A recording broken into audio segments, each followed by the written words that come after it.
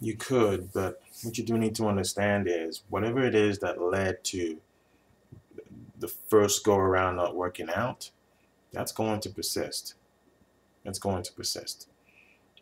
Uh, you don't just try to date her again and somehow whatever issues were had occurred in the past or whatever incident somehow that's disappeared right somehow everything's right with the world if there was a problem before it's still going to be there now if there's no problem and maybe the both of you just for whatever reason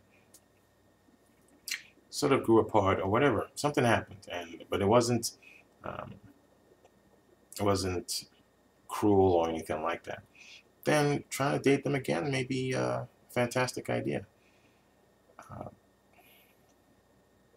But you, again, you should go. You should go into it making sure that you try. You really try to get to know this person, and you try to see if there's a connection there, as opposed to we already have this.